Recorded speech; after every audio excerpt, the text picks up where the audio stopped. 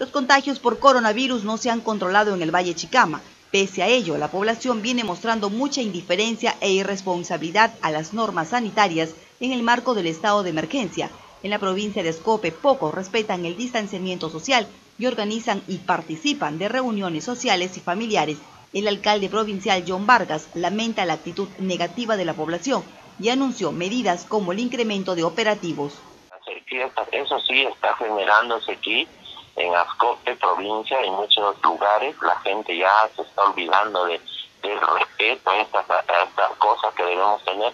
Hacen fiestas, he visto que un quinceañero en Paiján, la policía ha intervenido, este, galleros.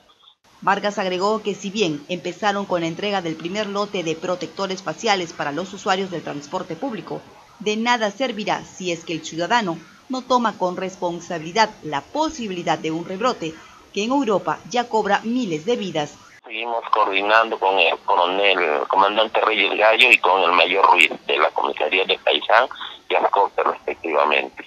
Sigan manteniendo la disciplina en los protocolos que deben tomarse, no hacerse, llevar su mascarilla, si van a viajar, llevar su protector, siempre el distanciamiento, eviten. Espera que con el trabajo de la red de salud de dicha provincia se estabilice el índice de contagio y sobre todo que la población tome conciencia de sus acciones